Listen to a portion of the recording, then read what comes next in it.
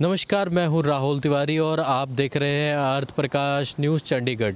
शुक्रवार को दोपहर दो बजे वित्त मंत्री निर्मला सीतारमण द्वारा संसद में बजट पेश किया जाना है। पिछले पाँच सालों में आर्थिक उपलब्धियाँ रही हैं, या तो आप इसके निरंतरता में देखें इस बजट को, या फिर आर्थिक बंदी के रूप में देखें। कई बार हम ये आशा करते हैं कि देश का आने वाला बजट हर भारतीय, चाहे वो व्यापारी हो, किसान हो, या विद्यार्थी हो, या फिर देश की आम जनता ही क्यों ना हो वो ये सोचते हैं कि क्या उनके लिए क्या नया लेके आता है ये नया बजट। तो इसी मामले पर चंडीगढ़ के अलग अलग वर्गों से बात की और जाना कि क्या राय है और वो उन्होंने क्या चाहते हैं नए बजट से। आइए दिखाते हैं आपको क्या कहा उन्होंने। Naresh Kumar president Chandigarh furniture association. तो सर जो अब की बार बजट आने वाला है तो उसमें आप जो व्यापार मंडल है चंडीगढ़ का वो क्या एक्सपेक्ट करता है? व्यापारियों के लिए एक तो सबसे पहले जो इंटरेस्ट ऑफ़ लोन है, आठ या नौ परसेंट है, जैसे चाइना में है। ये चाइना में चार परसेंट है।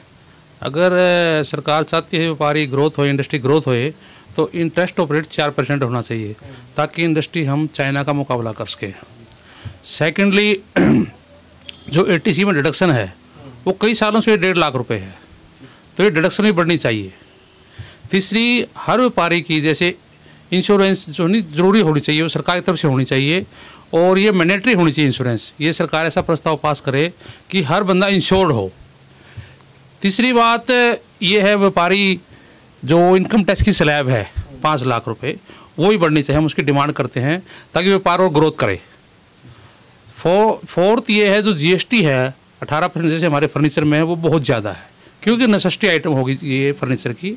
तो ये जीएसटी हम डिमांड करते हैं ये बारह या आठ परसेंट की रेंज में होना चाहिए ताकि व्यापार ग्रोथ हो उसके सर जैसा कि अब नए साल पे अब की जो मोदी जी ने पिछले साल का बजट था उसमें व्यापारियों के लिए क्या था और वो किस तरह से अगर उसका नेगेटिव पॉइंट देखा जाए तो वो किस तरह से आपके लिए नेगेटिव रहा होगा?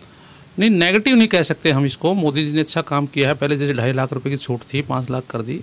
अगर और हम इस छूट को बढ़ा दें और जीएसटी जैसे बहुत अच्छा कदम किया मोदी साहब ने बहुत बढ़िया कदम किया तो इसमें कुछ सुधार की ज़रूरत है।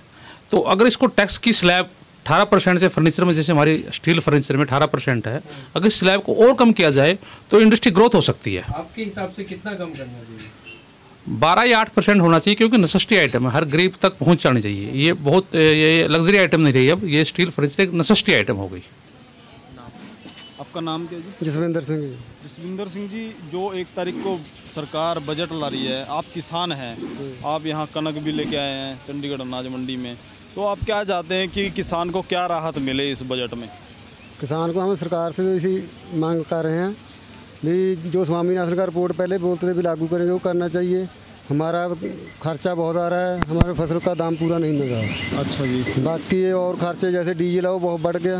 हाँ खर्चे ज़्यादा हैं। हम तो बोलते हैं किसान को राहत मिलेगा तभी सारा देश खुशहाल होएगा। तो स्टोर करने से ही बढ़ता है बड़े व्यापारी बंदे कर लेते हैं स्टोर हाँ किसान के बाद बाद में महँगा होकर दूसरा आम जिसने खरीदना है उसके बाद महँगा होकर ही मिलता है। हूँ हमारा यहाँ ही जैसे भी फ़सल लेके आते हैं हमारे खर्चा बढ़ के दो चार रुपये कम बचते हैं हाँ व्यापारी को उससे तीगना चौगना फ़ायदा हो जाता है। ठीक है जी। अभी क्या क्या समस्याएँ आ रही हैं? आप किसान हैं।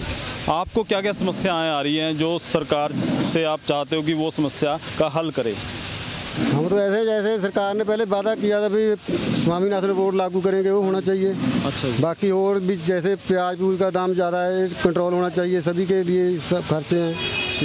बाकी डीजल और पेट्रोल है भी बहुत रेट बढ़ गया था। अभी तो हो गया तीन चार रुपये कम। हाँ पहले तेज हो गया था बहुत सही रेट लगना चाहिए। जैसे पहले बोलते जीएसटी में घेरे के में ले आएँगे इसको। हाँ हाँ इसको होना चाहिए। ठीक है जी। ये तो सभी की सहूलत के लिए डीजल पेट्रोल तो व्यापारी है चाहे जो भी है। एक स्टूडेंट का जो बजट है उसके ऊपर फोकस किया जाए।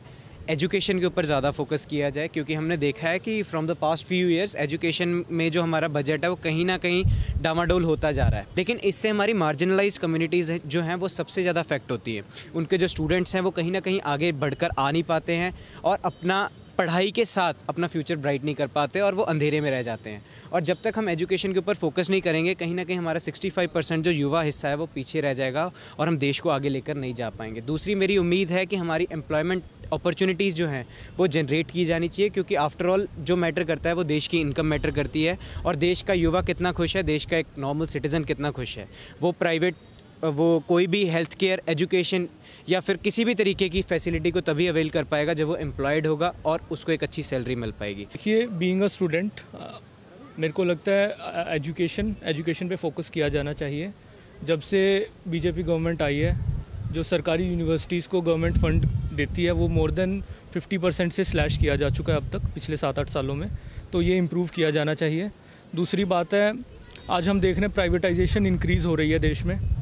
चाहे वो यूनिवर्सिटीज़ हों, चाहे वो सरकारी फैक्ट्रीज़ हों या इंस्टीट्यूशंस हैं, हर चीज़ प्राइवेटाइजेशन की तरफ़ बढ़ रही है। तो इसको रोका जाना चाहिए ताकि एक नॉर्मल इंसान को, एक जो एक मार्जिनल बैकग्राउंड से व्यक्ति आता है, वो भी हर फैसिलिटी अवेल कर सके। Sir as a common working citizen class मैं तो सर यही एक्सपेक्ट करूँगा कि जो हमारी इन्फ्लेशन है, वो कम हो जाए। क्योंकि इस टाइम आपको भी पता है कि कैसे प्राइसेस हर एक चीज़ के ऊपर जा रहे हैं, जैसे एलपीजी हो गया अनियंस हो गए पल्सेस हो गई, या कुछ भी हो गया वेजिटेबल्स इन जर्नल हो गई प्राइसेस बहुत ज़्यादा जा रहे हैं ऊपर।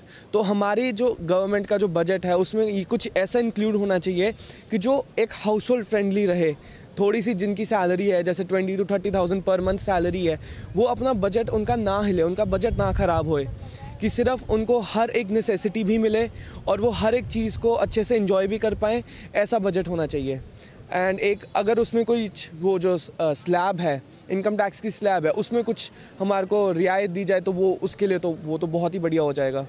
जैसा कि आपने देखा, ये थी चंडीगढ़ के अलग अलग वर्गों की राय की क्या चाहते हैं नए बजट को लेके, क्या उनकी नई आशाएँ हैं, और देखना ये होगा कि क्या पुराना, जो नया बजट है, वो क्या नया लेके आता है लोगों के लिए? मेरे कैमरा पर्सन रवि के साथ मैं राहुल तिवारी अर्थ प्रकाश न्यूज़, चंडीगढ़। ताज़ा अपडेट्स के लिए अर्थ प्रकाश टीवी को सब्सक्राइब करें और बेल आइकन को प्रेस करें।